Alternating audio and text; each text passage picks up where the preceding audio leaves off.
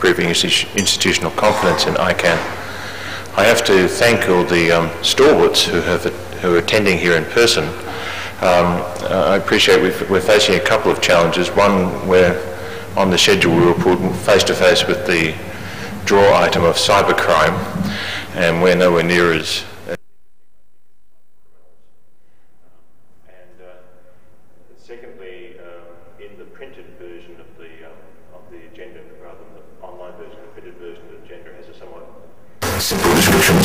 simply says reserved for PSC. So unless you knew what the PSC was, I'm afraid that would have been a very obscure reference in the workshops. Um, but thank you for those who are attending and particularly for those who are online. We are going to use a, a, a brief uh, PowerPoint uh, presentation just to um, uh, put some, you know, on the record, um, and particularly for those people who are who are watching the video streaming. So let me first of all introduce um, members of the President's Strategy Committee um, who are actually in attendance here at the IGF. Um, Jean-Jacques Subrenat, who's a member of the ICANN board, Yrjö Länsi-Puro, who is the uh, ambassador for the government of Finland and is a member of the ICANN uh, Government Advisory Committee, Raimundo Beca, a member of the ICANN board, uh, representative of the Address Supporting Organisation, uh, particularly Raimundo's from LACNIC, the um, IP address allocation organization in Latin America. Pierre Dandjinou, we think, is here. We're still trying to exactly see where, where, where, um, where Pierre is.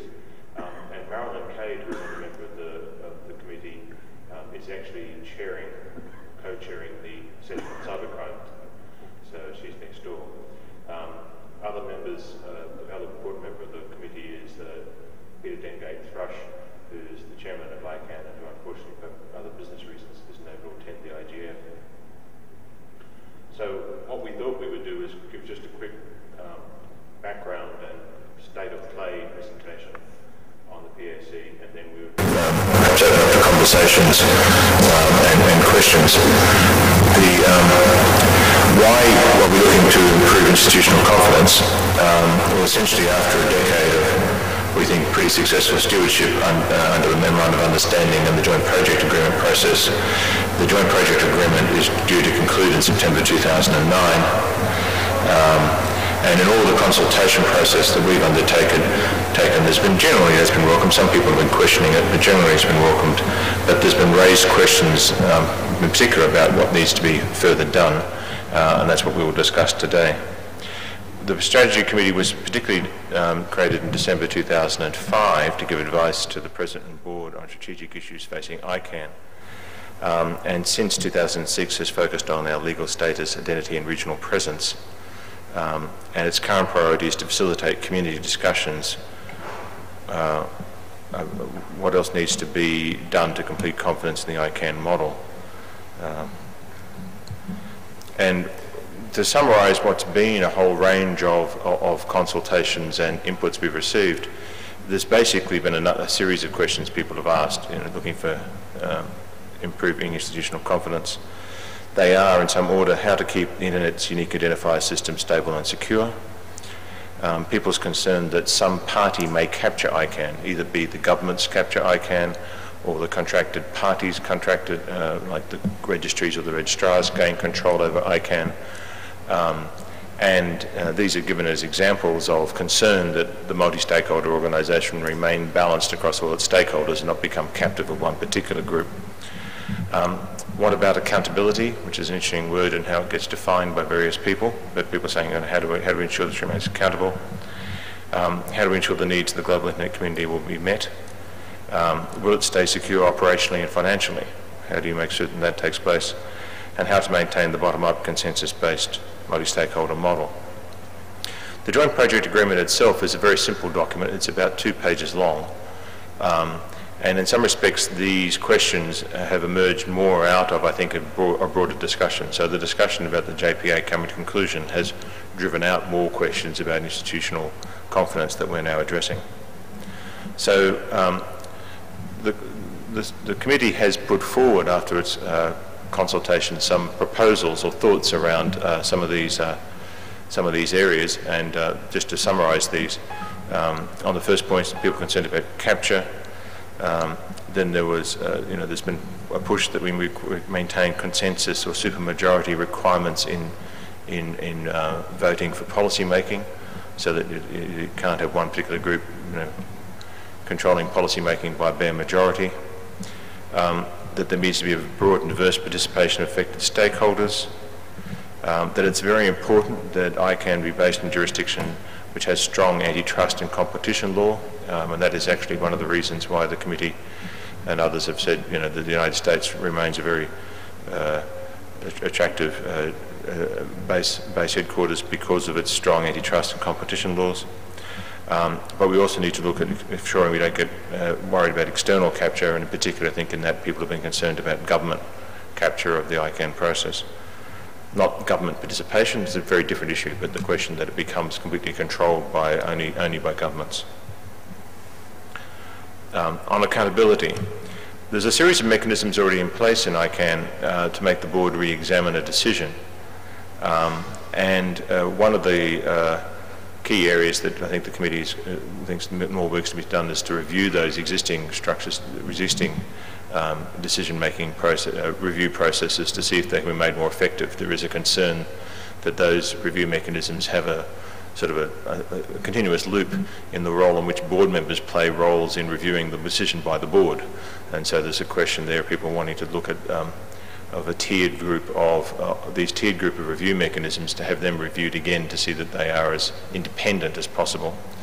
Um, there's also a proposal put forward by the PSC that the uh, have a board have mechanism to make the board re-examine a decision, and in particular that there be some vote of the supporting organisations and the advisory committees that would say to the board, we think you got that decision wrong, please re-examine it. And that there was also put forward after that that if needs, if needs be, there could be some extraordinary mechanism to remove and replace the board. Um, this, interestingly, this last one um, received a lot of positive feedback 12 months ago, um, but in the last 12 months, it seems to be getting less and less positive feedback. People are more and more concerned that that's uh, we're getting a lot of expression of people are concerned that's too, that's too uh, volatile and too big a change. Um, and they want more focus on these other mechan uh, gradated mechanisms of accountability. Um, there's a, lot of feedback uh, from, uh, from um, players, including governments, that the government advisory committee role needs to remain in its present context. That it's, uh, I think as uh, those of you who were here yesterday afternoon in the public session would have heard from uh, Bertrand de la Chapelle, the vice chair of the GAC, that it's a participant in the formation of the issues of policy making and a participant in its evolution, that it's not a, bo a body that sits in isolation and tells the rest of ICANN what to do. Um, and so that's, that's, the sort of use of the word advisory, although we do also recognise that word advisory um, does cause perception problems with other, particularly other government um, officials. Um, there'll be continued periodic reviews of ICANN structure um, and of its uh, reconsideration, independent review and ombudsman functions. We have this ongoing evolutionary process for reviews um, and that people think that's important. Um, the needs of the global internet community. The question here has arisen, uh, should there be additional legal presences in other jurisdictions?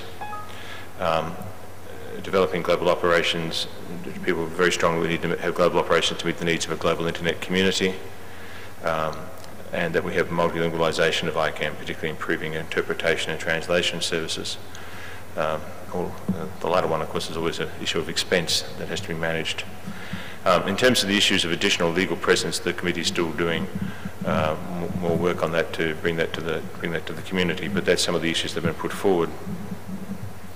Um, will stay financially and operationally secure? Um, an interesting piece of feedback here and was put to the committee was that you need to maintain and enhance a, re a reserves policy. ICANN has a reserves policy. Um, I, it, it, it, should not go in a straight line continuation. At some stage it needs to come to a conclusion, but it needs to maintain a financial reserve. Um, continued pressure to look for alternative additional sources of income. This is about trying to get diversification of the income stream away from just the registries and the registrars, particularly in the generic top-level domain space. Um, so people are still saying that would be useful to diversify. Um, and they also need to build on strategic planning, operational planning and budgeting to ensure international organisational best practice are achieved. Um, and uh, that's, there's a series of issues being put forward about the operational planning and um, budgeting and reporting on the financial uh, allocations, etc. How to um, keep the unique identifier system stable. In terms of this review, the United States government at least has made clear that there are no plans uh, to change the transition from the root zone file and its present tripartite agreements. So basically the procurement contract is not up for this discussion. This is focusing more upon the issues that have come out um, from the notice of inquiry process about how to build institutional confidence for the conclusion of the joint project agreement. Um, we have certainly think it's important that ICANN continues to discuss operational efficiency measures under the IANA agreement. Um, and we also, you know, the, the committee's also said that it should be important that ICANN be a thought leader on issues of security and stability issues consistent with its narrow but critical role. And there's already sort of resources being allocated to that. So my colleagues here have led a lot of the consultation process um, and to give you some idea of um, how that participation has taken place to date, there was a series of face-to-face -face meetings identified in uh, regions of the world, um, often around other meetings that were taking place so that we knew people from the region were coming together. So in Montevideo in Uruguay, LACNIC had a meeting which a lot of people from Latin America were coming to, so there was a, there was a session there. Similarly, um, APNIC had a uh, meeting in Christchurch, New Zealand, well attended from across the Asia Pacific region, particularly from the technical community, um, where there was participation. Uh, the IGF preparatory meeting in Geneva a, bit, a, little earlier this year, there was a session particularly uh, there. Um, there was a quite a big session in Washington, D.C. We've also had one, uh, Pierre helped coordinate one in D Dakar in Senegal, um, and uh, one in Mauritius. Um, we've also had uh, uh, public meetings in, ICANN's public meetings in Paris and Cairo have been places where there's been ongoing consultation on this document. Um, and uh, we've had two online comment periods, June, July 2008 and September, October 2008. Um, and this is, if you like to put it, the most recent round of consultations on these issues. Um, all consultation documents are in 11 languages, and they're all available on that particular um, URL which is on the screen there at the moment. And there are video audio transcripts for those consultation processes. Um, so some of the things we've heard in, in, in, response to that include that internationalisation is important in principle, but people want to see more detail and discussion on legal presences, what is needed and why, and we've heard that quite clearly. Um, secondly, uh, and we need to respond to that. Broad agreement that ICANN needs to be protected against all forms of capture, ex especially external capture. Uh, um, that there needs to be more and different board accountability mechanisms needed, and I talked a little bit about that, that people wanted to see more look at those issues of, of reviewing the existing um, appeal mechanisms to see, make certain they're more independent. Um, that the GAC should continue to be advisory, or that it continues to play that role that Bertrand said of being an active participant in, in, in identification of issues early, um, but that is participation, the work on participation. Now the word advisory is, is gets interpreted, I think, by different people in different ways. Um, and so I think we also potentially even could look at that in terms of its wording to make certain we're clear what we mean by that, in that it's active, active participation with the other parts of the community early in addition, issue identification and formation of issues, I think might be a better way of, of, of describing it um, that broader participation in ICANN is essential, especially, especially from business, that um, we need to identify additional revenue sources, but only after consulting the community. And so I think uh, there's a tension there, people saying, have alternative sources of revenue, but um, mm, you need to talk to us first before you think up alternative sources of revenue, uh, which I have to say as president is an interesting challenge between one and the other. Um, and uh, we've agreed the root zone management agreement should not be part of the consultation. So there's going to be more information to be published. Um, there is a conclusion of what we've called the design phase to take place in January 2009. And then we'll move to publication of an implementation plan for public discussion uh, and board review in March 2009. Um, and uh, we need to look at how we implement these measures and we need to report back to the community in 2009. So the design phase period really comes to an end in January and we'll look at having that uh, then have a publications out in, in, in, January about the sort of exact sort of concrete proposals for implementation. um, we'll have some further meetings in January ourselves in, um, and have this draft implementation plan for February. A potential timetable then says um, that we uh, review this in March um, and we start looking at implementation in the period between March and June. But we'll have to see, frankly, how the um, how the um, uh, March March response to the implementation plans proceeds. All of this is online at um, at the, that particular uh, URL, icann.org, and uh, there's a lot of detail there. There's a lot of material. Would really um, uh, exhort people to have a look at that and look at the feedback that's been received and we very much want to hear your views both online and, and here today. So perhaps I'll finish with that as a sort of the introduction and perhaps we can move to questions and my colleagues will play more of a role in answering them.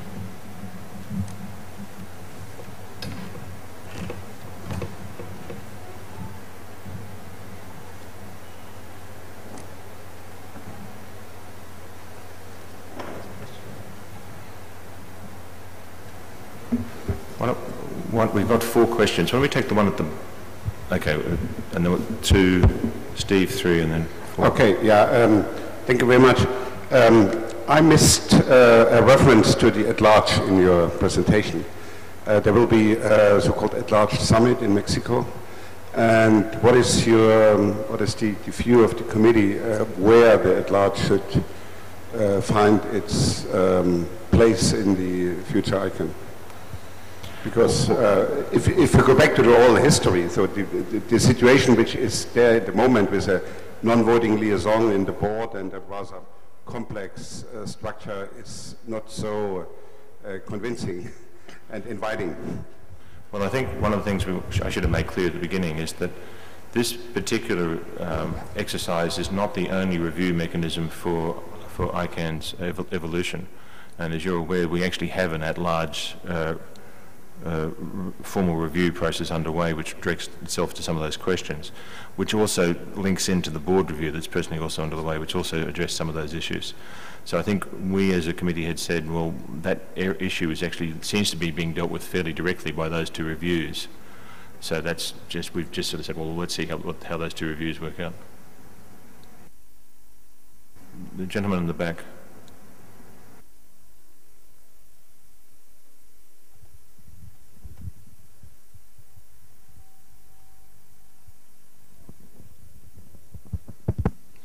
Thank you very much. Um, uh, I'm from uh, the Republic of Namibia. I would like just to, uh, to get clarification on two issues. One is um, the JPA concludes in September 2009. Um, I didn't see any indication as to what happened then after that September 2009. Are you going to have a new one? And uh, what is the way forward then from there? And secondly, the uh, the GAC uh, maintain to maintain the GAC uh, throughout. You you you refer to uh, to the advisory role being misunderstood. Uh, do you have any views on exactly what what does it then mean within the context of ICANN, or how do you, do you have ideas on what the advisory role is then? Thank you.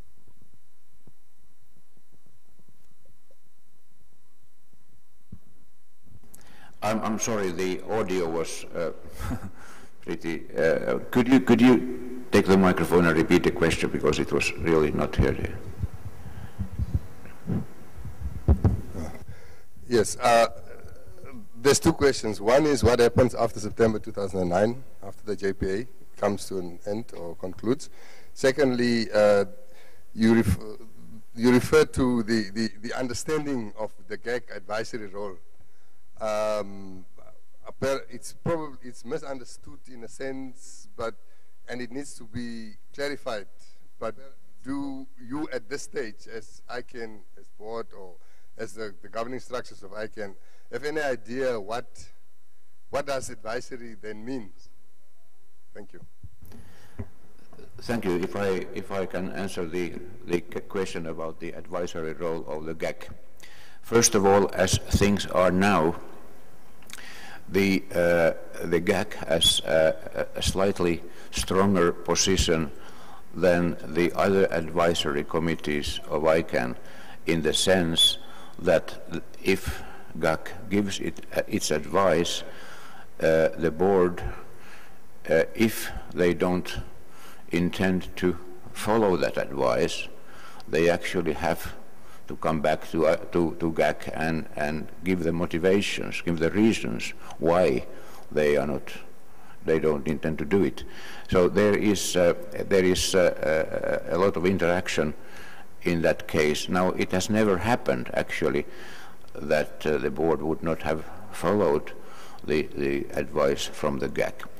Uh, second, now, the, as part of this consultation process, of course, the Governmental Advisory Committee itself is preparing its comments on the PSC uh, proposal. So, so we really were still awaiting the view from the GAC itself on what precisely its role should be uh, after the transition.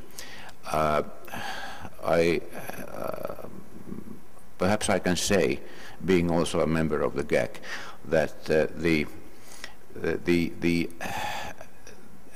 advisory role, I think that is generally accepted, that the role will be advisory.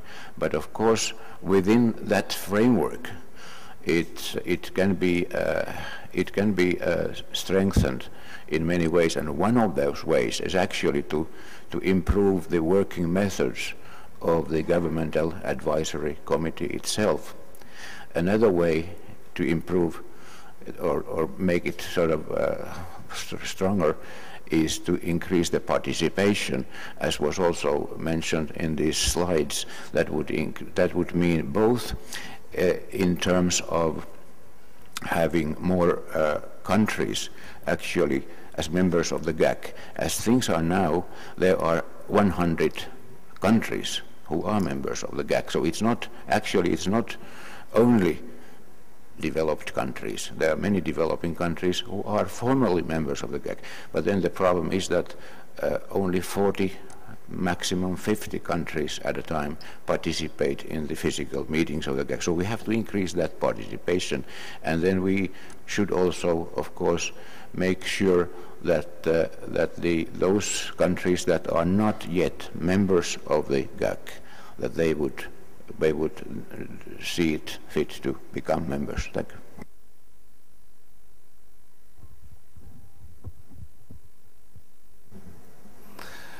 Uh, hello, good morning. My name is Jean-Jacques Subrenat, I'm a member of the board and member of the PSC. Uh, I'll try to answer the question about what happens uh, in September or after September 2009? Well, first of all, I'd like to say that there's a seeming paradox in that ICANN has, excuse me, a very limited technical role. But on the other hand, as you can imagine, something like JPA also has uh, political ramifications. So uh, I don't think we at ICANN can really state or imagine what will be the outcome. It depends on many things. Personally, I have heard um, various people of the internet community expressing hopes that the new US administration will have uh, a different, perhaps a more open attitude towards things we are talking about on the PSC, such as internationalization. But uh, I think it's still premature to make any statement about that. What is important is that you should know, the internet community as a whole should know what we in PSC are attempting to do. First of all, we considered it was of prime importance that ICANN should not simply wait until the termination date of JPA comes along and then say, so what do we do? And then turn to uh, the US government and uh, ask for guidance. I think that is not enough.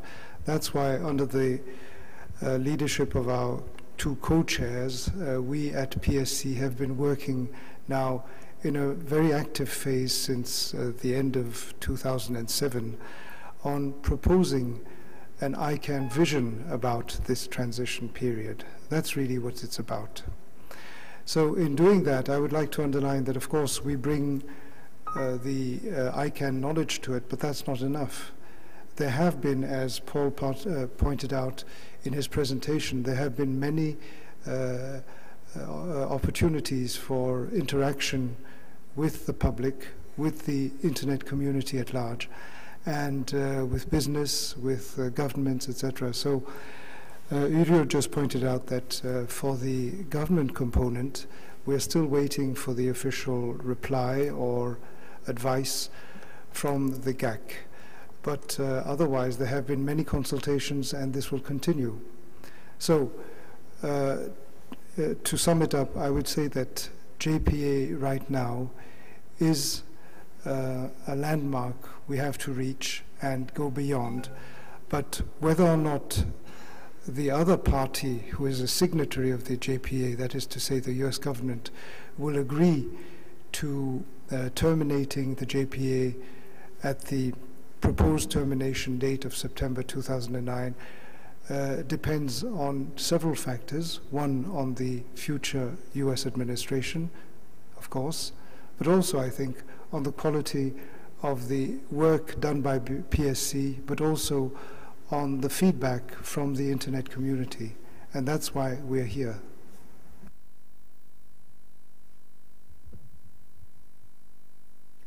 Thank, thank you. Steve Del Bianco with NetChoice. I wanted to make one uh, comment with respect to the Government Advisory Committee, or GAC, because if there's, if there's one element of, of ICANN about which there seems to be a lack of confidence, it, it strikes me that based on Dr. Toure's remarks yesterday, that there's a lack of confidence that governments have adequate muscle and representation. I think those are the words he used yesterday. And it's, it's a shame that more governments aren't here in the room today, since there's certainly more than 40 governments here at the IGF. Maybe, maybe they're following the security session next door. But I have a, a personal observation, having worked through the WHOIS studies group over the past couple of years, that you can't really define the GAC's role by um, writing down a definition. And you have to experience the GAC's role through the way they interact with ICANN. And, and they interact in a fundamentally different way than all of our other stakeholders. Uh, with respect to WHOIS. it, it took them many months to come up with a very formal three-page statement on studies of WHOIS, which they sort of sent to the board and thought that, that their job was over. And maybe that's the way the GAC understood it to be. But for the rest of us, it was, it was appropriately handed from the board to the council, to GNSO Council. And what's the surprise there? What part of bottom-up consensus-driven policy did the GAC not understand, right? Because bottom-up would mean that the GNSO Council would work on it.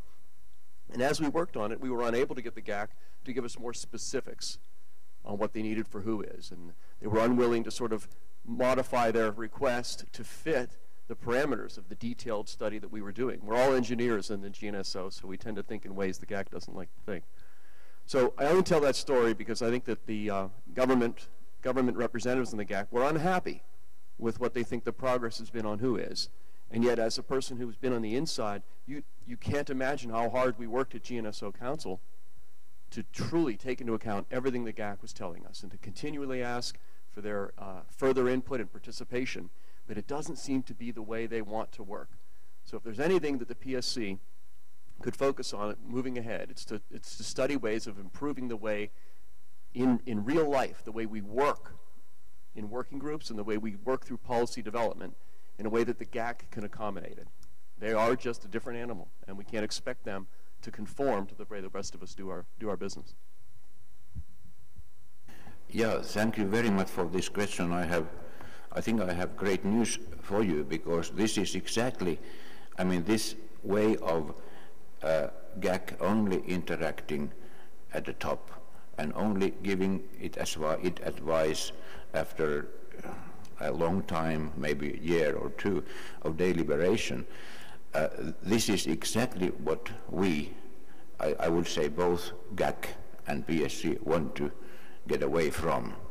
Because uh, I, I think that in the forthcoming, forthcoming uh, comments of GAC, I think that there, as also at, in the, in, at the meetings we have had recently, I think that we express the, our desire to be part of the PDPs at uh, all levels, actually, uh, instead of just waiting for a long time and then, you know, pontificating, you know, what our views. So we really, and I think that there was a good example of this, the working group on the IDN CC uh, TLD fast track, where where GAC representatives were actually there, and I think that the working group on the on the geographical regions will be a similar experience.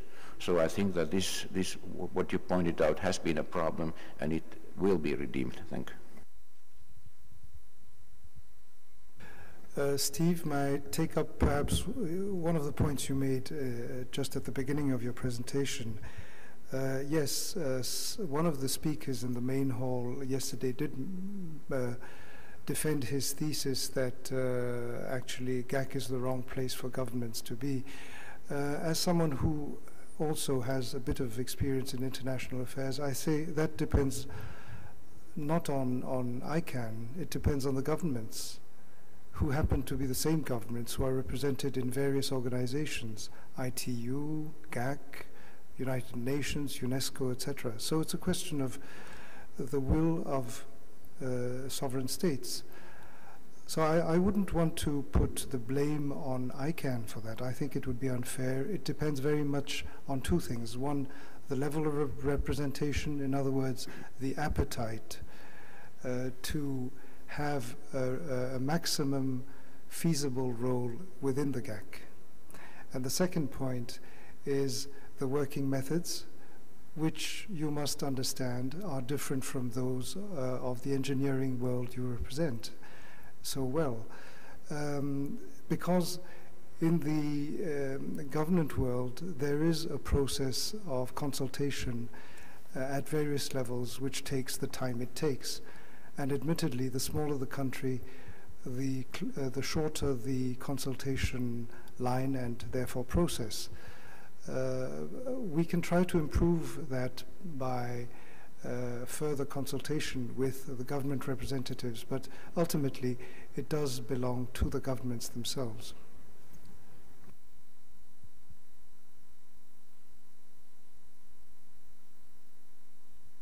Uh, well, uh, as a matter of fact, uh, I'd like to touch two points, and uh, in fact, they have to do with uh, the two points that have been uh, discussed so far since the, the, this Namibia participant has intervened. So, in what concerns the GAC, um, just a comment. So, I actually believe that it's, it's very important to work on the procedures and the working methods because, as you mentioned, the, this is a, a, kind of a body and the, the, the type of, um, of uh, operation which actually requires a little, a little difference on the way usually uh, governments are represented and act on these instances. And I think a lot of improvement can be made, but it has to be worked out how to do it. Well, the other two things are obvious and have, they have been stated. I mean, wider participation uh, is uh, is of course uh, one one of them, and and the, the, other the um, the the the idea of having a, a very open visibility to the procedures of the organization so that you can take, adv take advantage of the participation of different governments on that in terms of uh, sustaining the, the, the, the, acceptance of the organization and somehow resisting to external capture. Now, the other I'd like to formulate as a question, it, it is still on the line of what was raised here, is the, the scenarios for evolution of the institutional framework of ICANN. Okay, I understand that, of course, the United States administration has something to say about it, but anyway, I believe that it is to, to ICANN structure to write down and make clear which are the scenarios that we have in front and to make very clear analytical reasoning about each one of them and their possible consequences. So from this point of view, I'd like to know where you are. So uh, what is the present situation concerning which scenarios are in line and what analytical statements can be done about each one of them in terms of uh, consequences from a strategic point of view. I think that would be useful. Well, if not here, where can I see that sort of information? Thank you.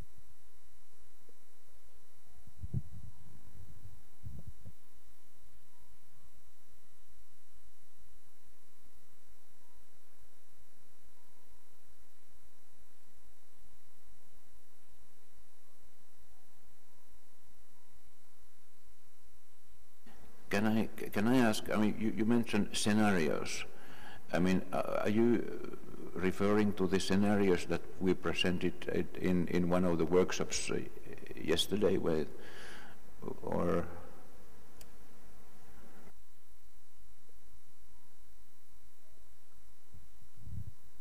So uh, unfortunately, I did not participate in the workshop, so I don't know what you are talking about. I'm, I'm, I'm talking generally, well, you see, there is presently an institutional framework that will finish very soon. I hope somebody has written down the possibilities of what can happen next. Either there is just one possibility or there is more than one. But when you say that it depends a lot on the, on the, on the position of the United States administration, I imagine there is more than one. So uh, is, that, is that work done? or people are just waiting for, for what will happen. By the way, I didn't identify myself before. Luís Magalhães from Portugal. Well, as a practitioner of international relations, uh, I'm going to be uncharacteristically imprudent by saying, okay, let's go ahead. Let's do that. Let's look at various scenarios. Let's take the no move scenario. Nothing happens. Uh, someone and the new administration says, no, this is, you know, this is almost national security, no way, uh, nothing has to change. So obviously, it takes two to tango, and in any joint project agreement with two partners, uh, if one of the partners doesn't want to change anything, well, that's it. So that's one scenario. Uh, however, I think I can speak on behalf of my colleagues of PSC in saying that that's not exactly what we're looking at. I think that the, there are a set of other possibilities or scenarios. One of them would be that uh, uh, the new uh, US leadership would recognize the fact that the basis, the logic on which the JPA was conducted and uh, renegotiated uh, has proven wise and has given the expected results. That's very important. And I think uh, Paul has uh, underlined this time and time again in the uh, ICANN public uh, meetings. Uh, there were a set of criteria, as it were, or things to achieve. And it is our feeling on the PSC that, by and large, the main elements have been satisfactorily met or undertaken by ICANN. For instance, transparency, accountability, yes, things need to be improved. And I, for one, was very impressed by the feedback we got on the fact that the no confidence vote, or the ultimate sanction, as it were, of uh, spilling the board, was a, a nice thought, but not sufficient, and that we had to have a much more elaborate mechanism of accountability on the part of the ICANN board. So if you look at all the requirements which are set out uh, between the US government and ICANN, I think that uh, most of them have been met well or very well. The remaining work can be done without maintaining the quote unquote oversight of the US government. So what we are uh, formulating and submitting to you and to the internet community at large is that, yes, we have achieved what we were supposed to achieve, and therefore the international community can place its trust in ICANN as a model, as a rather original multi-stakeholder model, and has to de be developed further. But it is our belief that oversight by one government, even though there is no dispute about the fact that for historic reasons it is the US government, it was not some other government. So that that oversight is no longer necessary. Where do we go from there? Well, uh, the whole point about um, protection against capture is precisely that because of this timeline of the possible termination of JPA, there could be at least a theoretical risk of an unfriendly takeover attempt by, call them entities or entity. And that's why we consider that protection against uh, capture is so crucial. Now, my own answer to that is, there again as a practitioner, is that the more you have uh, a variety and numbers of participants or stakeholders, the more difficult any form of capture becomes. So we are fairly confident in that. My last point is if you exclude or for the time being do not give undue advantage to the nothing's going to happen uh, scenario, how far can we go is really your question, sir, I think. Well, we are on the PSC believe that there are several factors which have been mentioned in Paul's presentation. One of them is meeting the global needs. And global needs is another form of saying internationalization. And I would like to address this especially to our friends from the United States who are in this hall and say that internationalization is not turning one's back on the United States.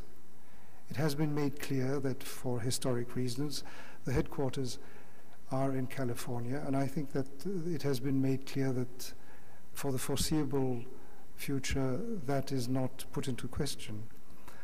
We do believe, however, that there is a very strong case for internationalization, including in the creation of other, I don't know how many, but other legal entities, sometimes for very practical reasons.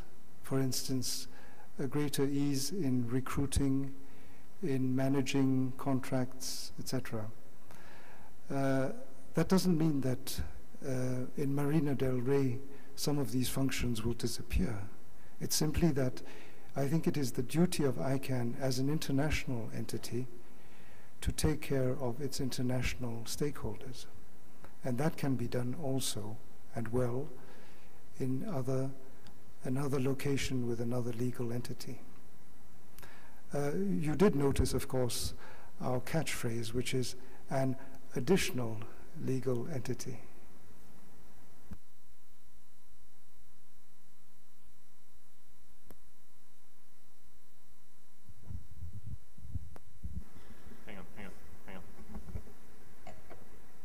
Okay. The um,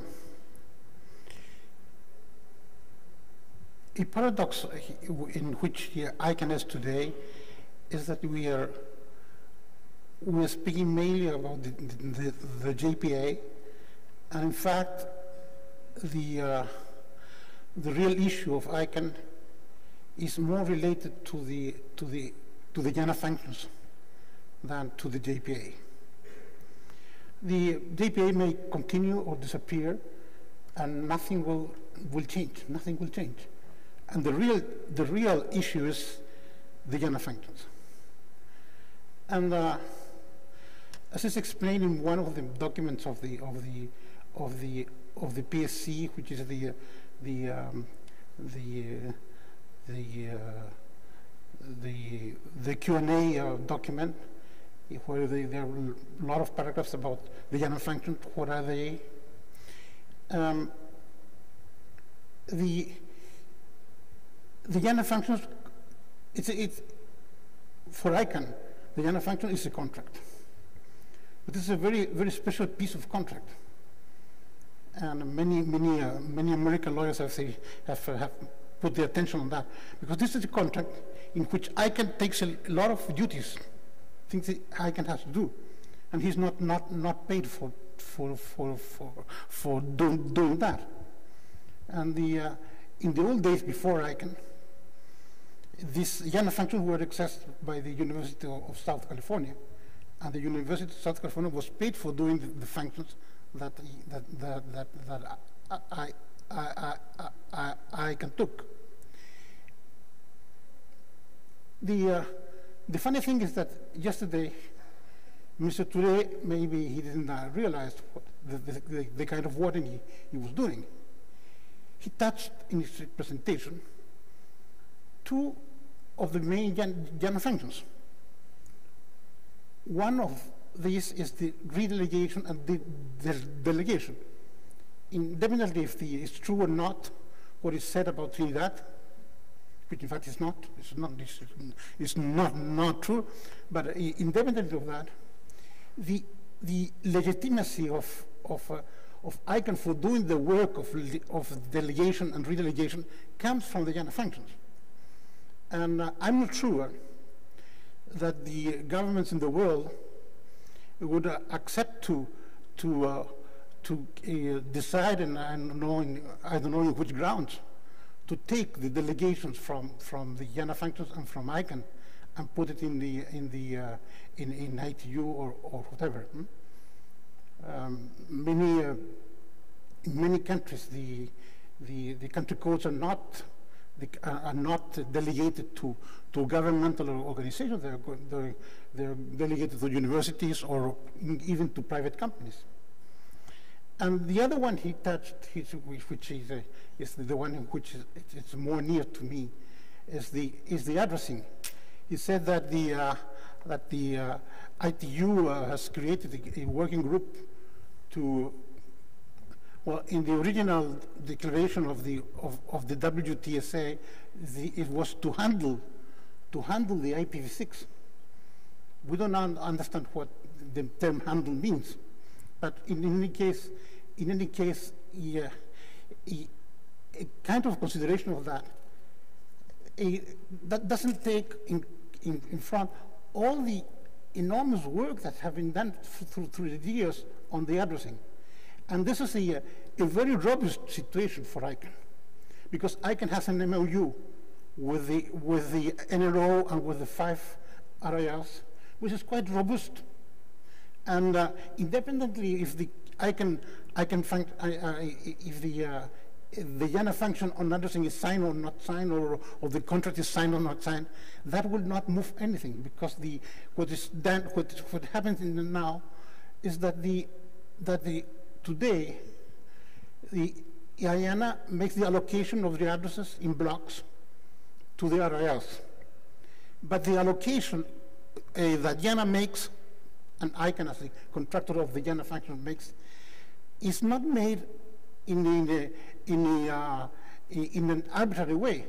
It's made following policies, policies which were developed were, de de developed bottom up, and we explained to the GAC, and many governments have understood, that the real place to discuss the, those policies is to go to the, to the public forums in the RIRs, and many governments, including the government of the United States.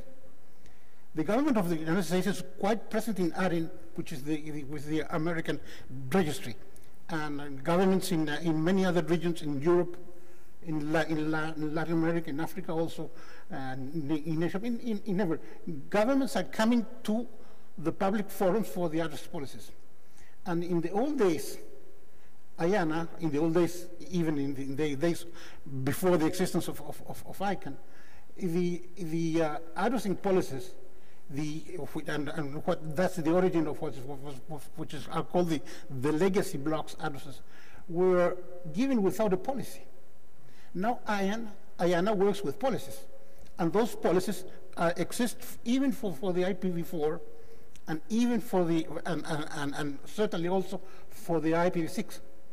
And one of the things that, that was mentioned by in, in the in the WTSA de declaration, it was mentioned that the uh, that they were uh, ITU could be the guarantee that the uh, that the uh, there will be a fair distribution of the of the uh, of the IPv6 and never happen again what happens with the with the with the uh, IPv4. And the curious thing about this is that the the IPv6 policy is exactly a fair distribution. And now we have a, uh, the, the, a, uh, every uh, every uh, area received the slash 12.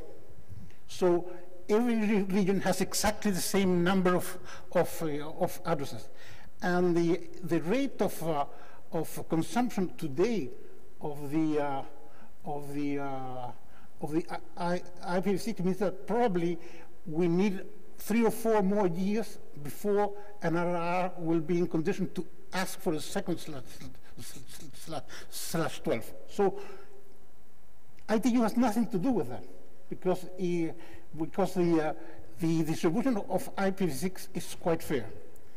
And the last thing I would like, like to mention is that no longer than yesterday, the NRO uh, enacted the, the, the, fact that the, uh, the, the, the, the, policy, which now has to be uh, forwarded by the, by the Address Council to the ICANN board to be ratified, a policy concerning the distribution of the, of the end of the, of the IANA pool on IPv4. And this end when, the, when uh, the, there will be only 5 slash 8, this, this, this, will be fair. So we have a sad story for the past, but the end of the pool will be fair. And that's a policy that was decided with the votes of government in many, in, many, in, all the regions. Okay.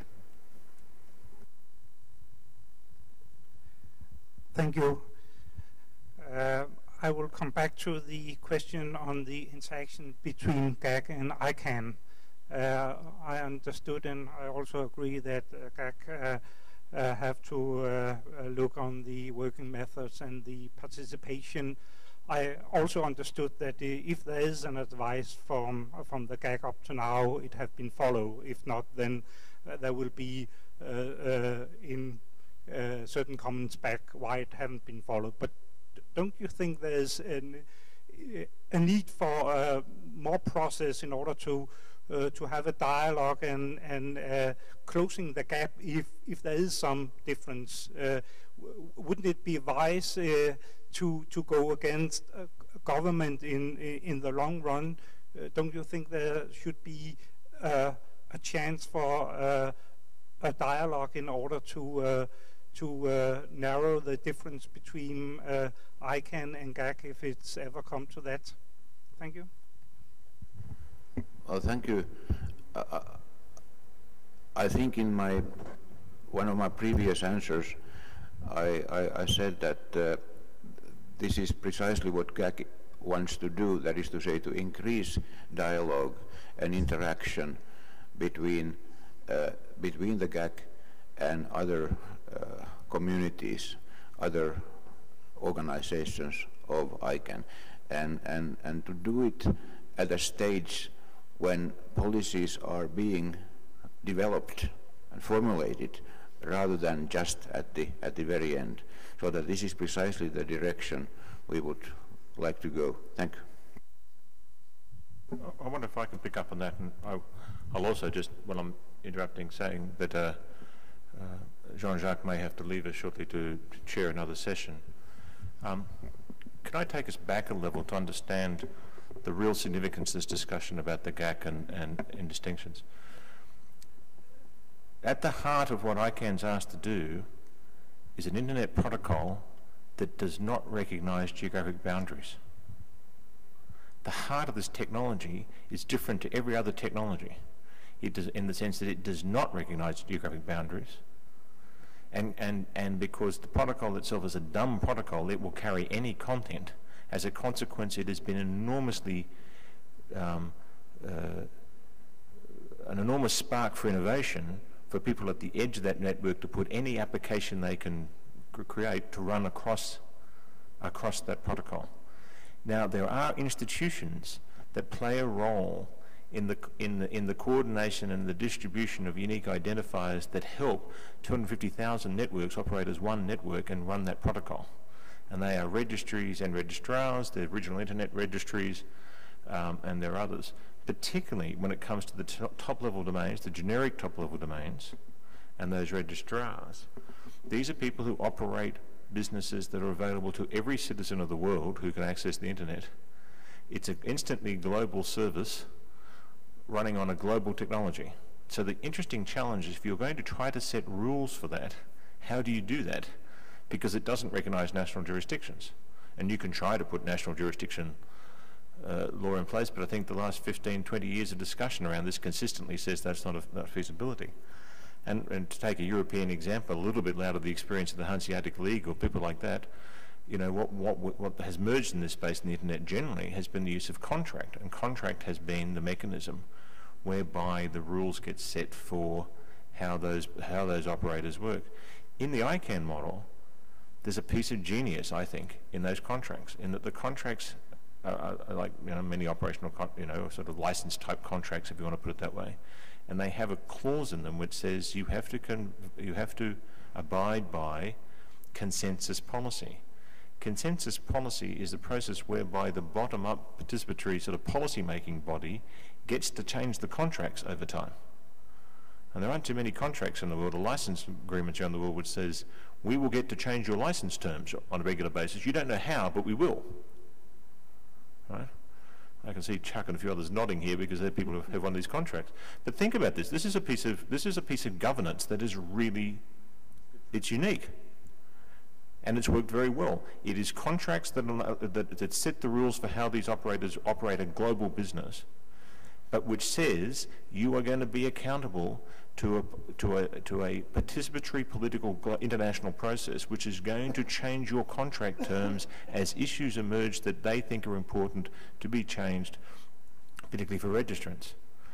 Now let's think about who needs to be involved in that process. It needs to have users, it needs to have um, intellectual property interests, it needs to have uh, other country code operators, and it needs to have governments absolutely involved.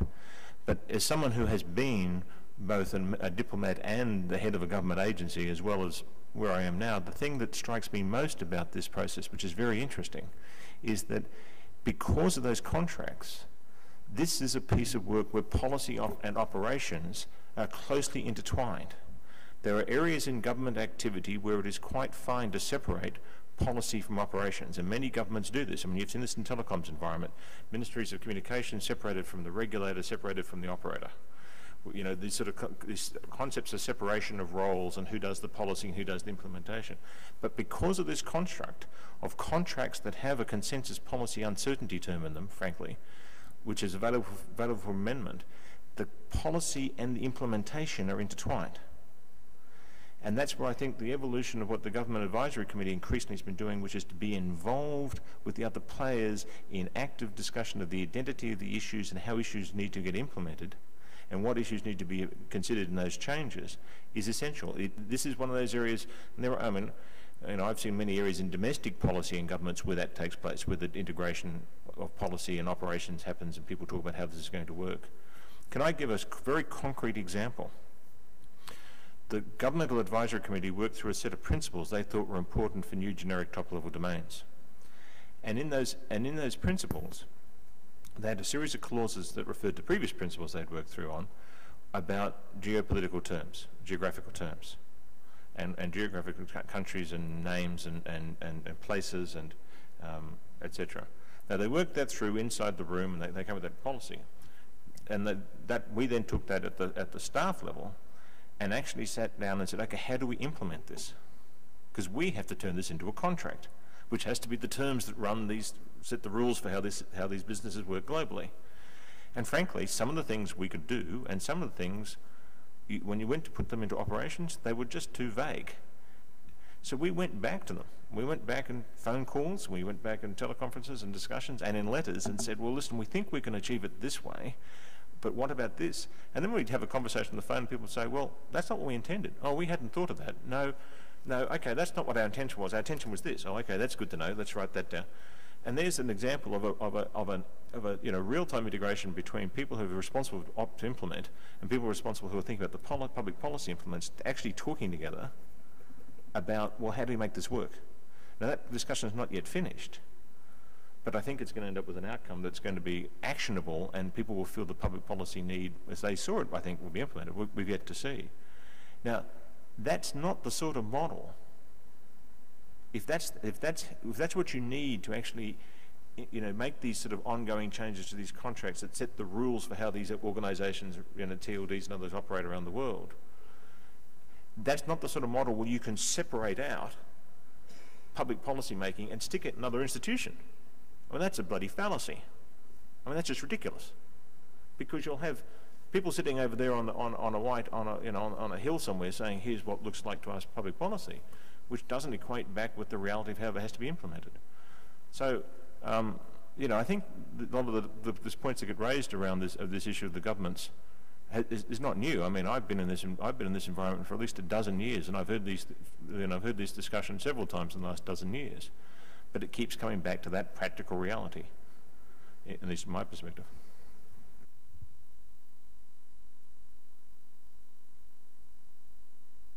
Chuck? Thank you. Thank you, Paul. Uh, very well said. Uh, the big challenge in front of us re- with regard to the GAC and, and, and ICANN policy development uh, is one that I think we really need to, to try to have some success in in the, in the next few months. Now, the, I, I'm speaking not as a contracted party right here, but rather as a member of the GNSO. And uh, frankly, we've been very unsuccessful, uh, much less so than the CCNSO has been, with regard to involving the GAC in our policy development processes.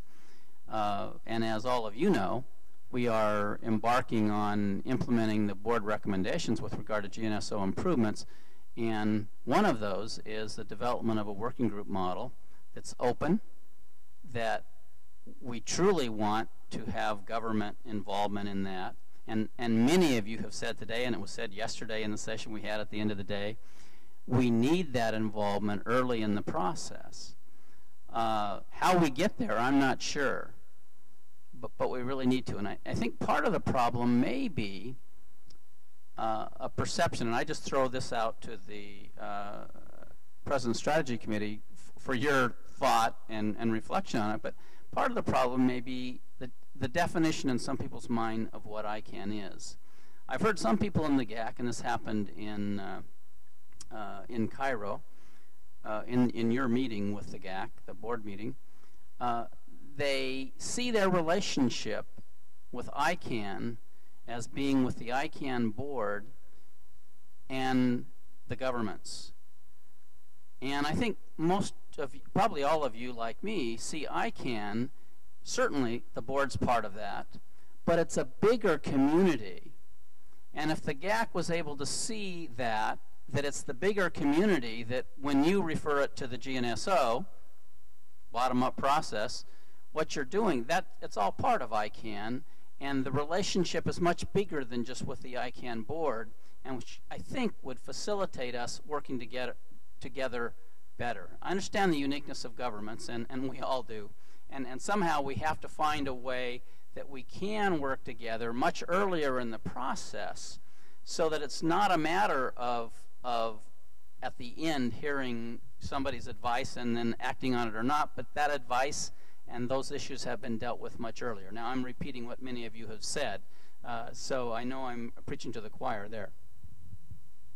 Can I make the observation that eff- effectively in what you're saying there is that inside ICANN, the role of governments is actually expanding? I mean, that's, I mean, that's effectively, it's, it's- if it's moving from something that writes communiques, Um, the okay, role uh,